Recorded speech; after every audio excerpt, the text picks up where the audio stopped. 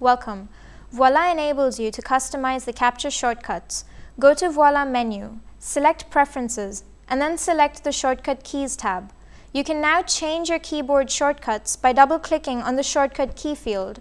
You will notice that the Shift and Command keys will remain constant while you can change the last character. Let's change the full screen capture shortcut key to Command Shift 3, the selection capture shortcut key to Command Shift 4, and the object capture shortcut key from Command Shift 5 to Command Shift O. You can use these shortcuts for your capturing needs. You can use the assigned shortcut keys to capture a full screen capture or for invoking the selection capture with Voila launched.